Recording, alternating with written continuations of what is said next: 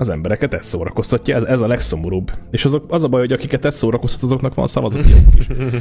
Én azt láttam, hogy itt ilyen több, több száz év, vagy nem tudom, több, biztos, hogy több évtizednyi elmaradásunk van kultúrában, kulturális Abszolút. érzékenységben, és nyilván, hogyha mindenhonnan az folyik, amiről most beszéltünk, akkor nem is lesz igény többre, mert ez, ez a fajta igény van kiszolgálva, ami úgymond teremtődik a, az átlag intelligenciával, meg emberekből. De egyébként vannak próbálkozások, meg Magyarországon is képes olyan csatorna megélni, mint mondjuk a retrosak, vagy a mit tudom én, ehhez hasonlók ilyen, ilyen belemenősebb, igényesebb tartalmak. Csak ez, ne, Szerencsére igen, csak ez nem mainstream itthon ez van. Hát mert nem ez, nem ez reprezentálja igazából az itthoni, itthoni kulturális igényeket konkrétan, és szerintem itt lehet gyakorlatilag elválasztani ezt a tartalomgyártók, illetve a kreatív tartalomgyártók közötti különbséget, hogy mennyi, mekkora igény van arra a fajta tartalomra, akik mondjuk ténylegesen ölnek ebbe a dologba gondolatokat, meg energiát.